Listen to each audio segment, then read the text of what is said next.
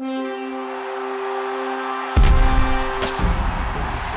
Adam Ancho with a draft profile on Kansas State running back Daniel Thomas. He's an athletic, finesse big back with build-up speed who led the Big 12 in rushing the last two seasons.